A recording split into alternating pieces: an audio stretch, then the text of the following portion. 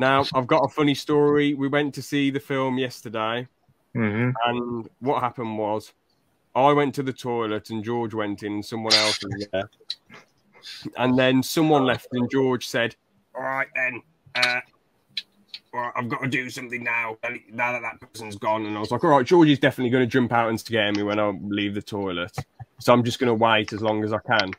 Uh, but I didn't need to wait because George came in with this massive poster, and I was like, "What the hell is this?" And George was like, "Hold this, hold this," and I was like, "No, this is your problem," and I just walked off. And he was like, I, I didn't tell you to hold it. "I saw him." I swear you did. You were like, "Hold this."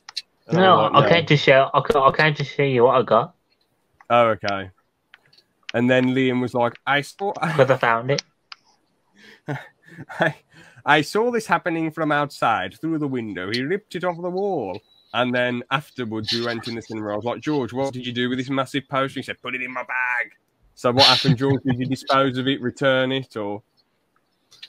You, you, you know, I sent a, a picture to the chat last night. Basically, George wiped Yeah, it off. yeah, I was gonna No, God damn it. no, I'm joking. George still has the poster in his possession. What are you going to do if the police come to your door and go, poster, poster, Georgie, poster now?